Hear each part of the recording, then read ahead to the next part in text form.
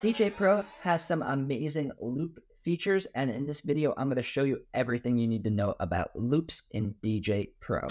All right, so first, the first place where you're going to see loops is going to be up here on the top right corner. There is going, it's going to say an amount, probably going to say two or four if you never adjusted it. And this is the quickest and easiest way to set a loop what you do is you press it once and whatever number is rec- is represented over here is going to be the amount of loop. So this is a four beat loop. You could go all the way down if you want to do like a bounce effect. You could go all the way down to 1 and 32 and then you could go all the way up to 32 beats and to turn it off you just press it again. And to know if it's on it's going to be highlighted in blue and in pro mode, in pro mode, you still get access to it as well. It is right here. I'm just going to go back to classics because the other views are bigger. So that's the easiest way to get to your loops, but there are a lot more advanced features. If you open up this over here, the bottom right, this is how we're going to get to our effects and all of our other features. So we're going to press that once, and then the first one's going to be Neural Mix. The second one is going to be our cue point. Third one, right in the middle, is going to be our loops. So there's a lot of stuff that we could do here. So I'm going to start over here to the left in manual. This is going to set a manual loop. So, so with the song playing, if you have in selected and then once you press out, that's going to be your loop. So if you don't want your loops to be aligned with the beat grid by setting the automatic uh, two, four, or whatever, then you could set them yourself with the in and out. And then these lines over here, it'll push it either to the right or the left. So that's what we have now.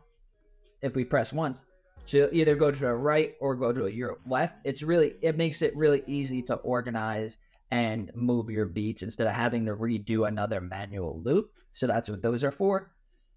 This over here, this represents if that manual loop is on or not. So it's off, now it's on, and then you could also make that manual loop bigger by using these buttons over here, either make it a 32 or make it less. And then down here, we have another access to set another loop. And then there is a hidden drop down menu in where it says manual. So we're going to press that.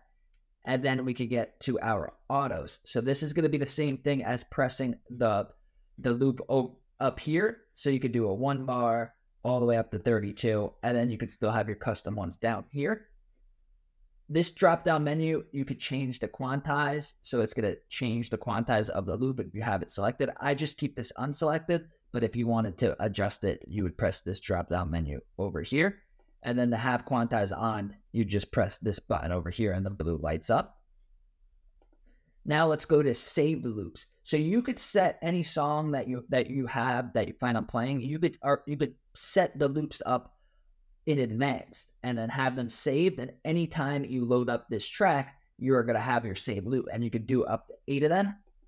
So let's just do that one there, that one there. And now it might be annoying because these will automatically play unless you adjust this setting. So we're gonna go to settings, general, and then right over here, activate save loop one. So if you have this selected, then it's going to play your save loops automatically. If you have it deselected, then it won't play. So that's your save loops. You can have up to eight of them. And keep in mind, they do save. So you only have to set it once. And then that song, even if it's on a streaming service, that song will have these saved loops already saved for you. And then to delete them, we press the pencil button over here and we can delete them.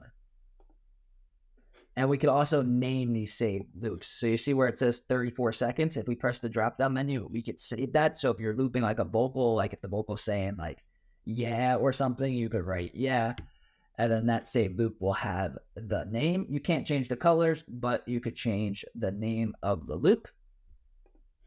Now we're going to go to bounce. So what bounce is going to do is it's pretty self-explanatory. When you press it, it's going to bounce it into a loop, uh, either two from two all the way up to one fourth. I'll just show you what it sounds like.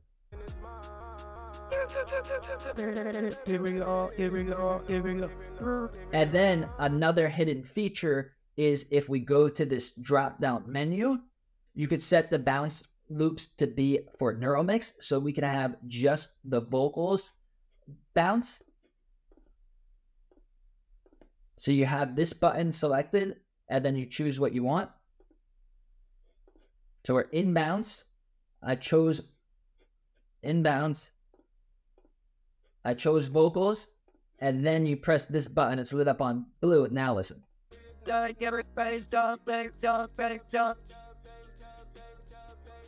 So it's really cool for doing builds up build ups before drops and stuff, and you can control just the vocals or just the drums or just the harmonics. And then a drop down menu in bounce, we can get to a pad. So this is gonna bounce it and then add a high pass or low pass filter.